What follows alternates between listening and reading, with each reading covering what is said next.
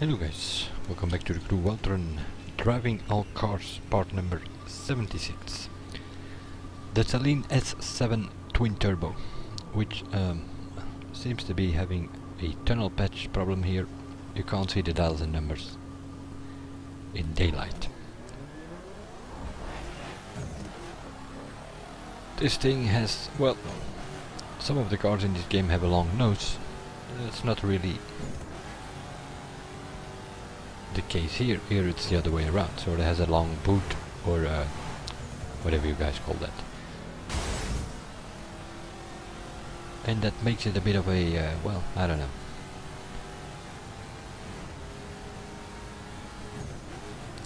If it will suffer from it.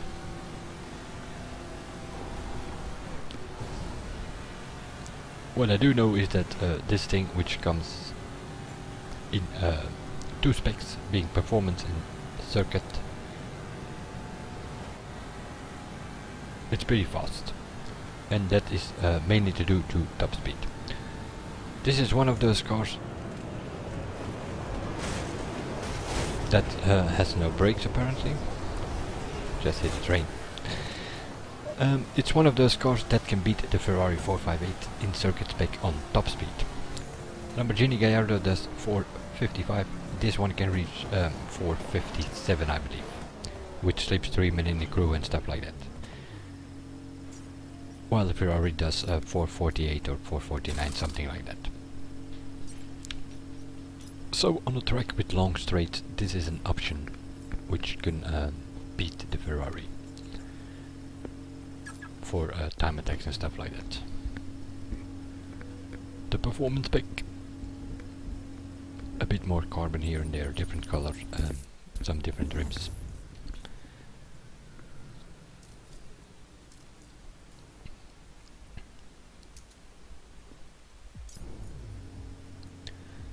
Um, the fastest time here is um, the Huayra with the 22.2 followed by the LaFerrari with the 22.5 and uh, We'll see what this one does. Can't remember what the what the Gallardo did, but I believe it wasn't that fast in performance, acceleration wise. So 22 for the Huayra, 22.5 for the Ferrari, and also another couple of cars 22, including this one 22.7. So acceleration definitely not bad for the performance spec. Kinda top I guess if you um, many videos I consider 23 seconds above average 24 seconds below average and this one does a high 22 so that's kinda top of the range. The circuit spec there we have um, 23 seconds below average 22 seconds above average. And we have a 21.9 for the Ferrari 458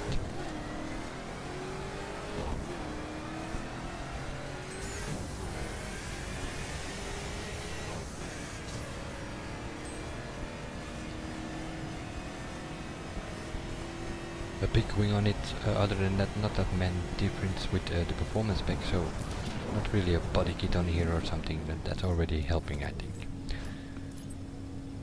22.8 that is um, well it's above average for sure but we have a couple of 22 second cars in circuit so um, yeah above average acceleration for the circuit spec.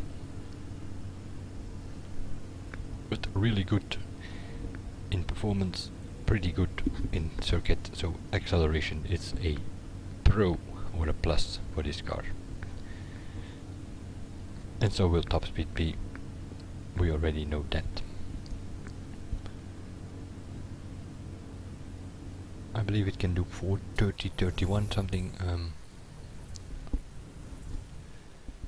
in performance and 457 458 in circuit that is in a crew and with slipstream and all, so But you can't reach that if it doesn't have a high top speed to begin with. So top speed and acceleration, we can already fill that in as a plus. And then we have to look for a minus. Uh, so we're basically gonna look at handling and brakes.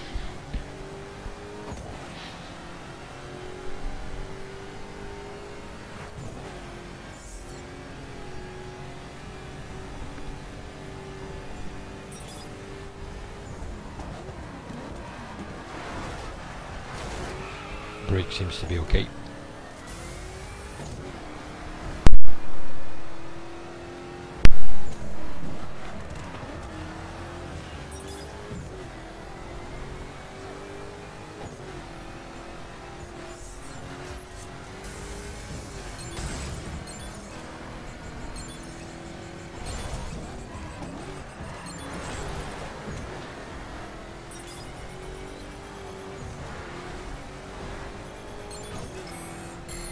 First looks it uh, suffers a bit from understeer, but that could be the track. Those first two corners, if you have to go wide because of traffic, like I had to do there, uh, that can be a problem.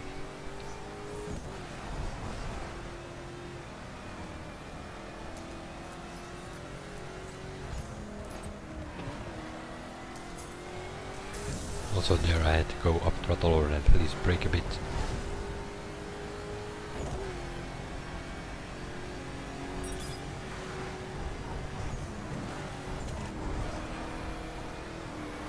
Think that the long rear is much to do with that.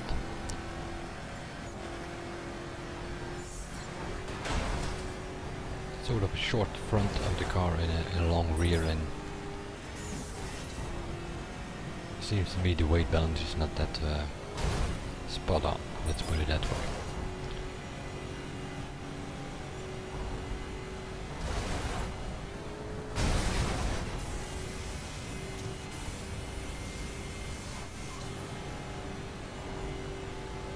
Kinda missed a jump there, so uh, we were not reaching 400, but we'll definitely do that on a longer straight.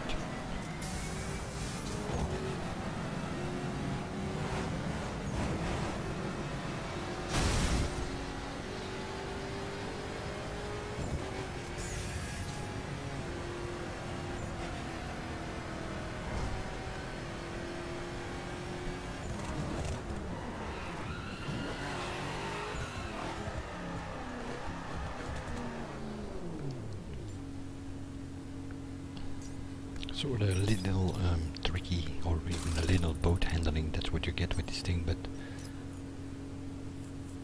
um, I'm thinking it probably is the best American to use though, for American qualifier or something.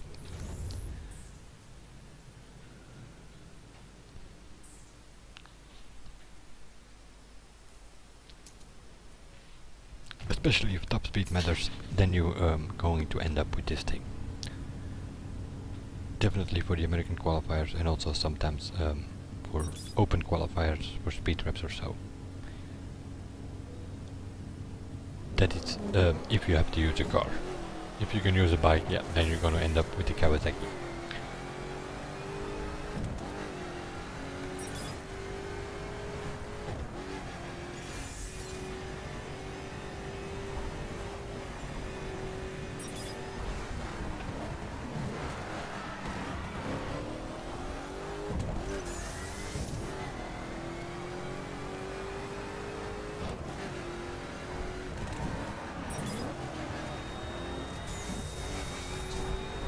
Brakes um, seems to be okay on this one as well.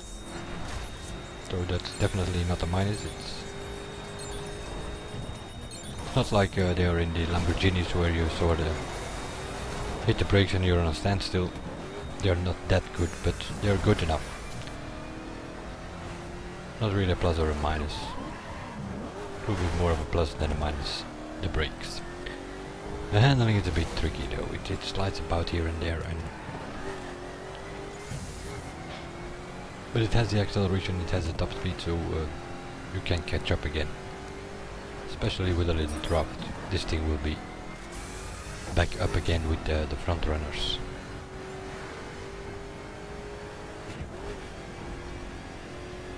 But if you're doing a track with twisty corners like this, yeah. Some of the corners you have to slow down with this thing while you can keep uh, on throttle with other cars. That's probably where the difference is.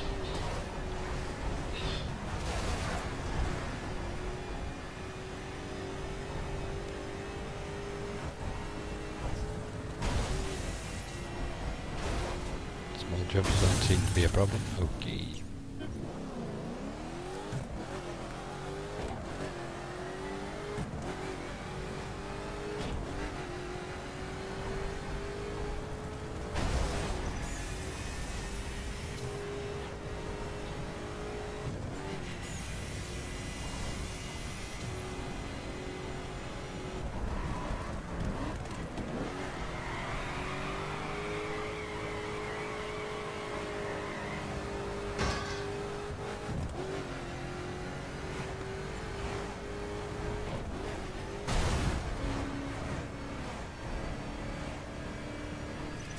Going up there and um, turn around and see what we can do on about the top speed.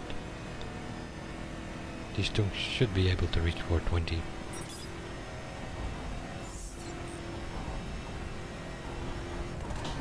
Not 100% sure, but I think in, um, in circuit spec it has the highest top speed for a car. Only be beaten um, probably by the Kawasaki bike. And now um, this video series is made with um, all cars at 1299. With the new expansion upcoming at November 29th, we will have level 60 parts, which also means that the cars will go to uh, most likely 1499. The whole thing might just change.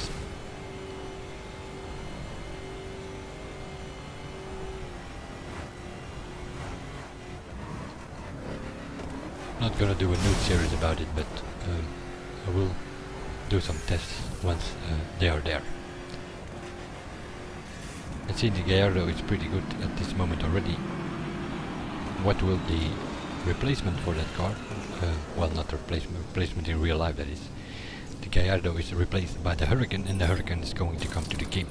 So what is going that going to do? Is it going to be competition for the Ferrari 458? There might be a chance there. I don't expect uh, that much from the Ferrari F12 Berlinetta though. Um, this car, yeah, has the acceleration, has the top speed, a little tricky handling though. Um, circuit spec I would recommend, although the performance spec is also something you have to consider for twist uh, speed traps and stuff like that. Although it doesn't have the highest top speed in performance, that is for the Nissan Fairlady. I'll see you guys in the next one, and bye for now.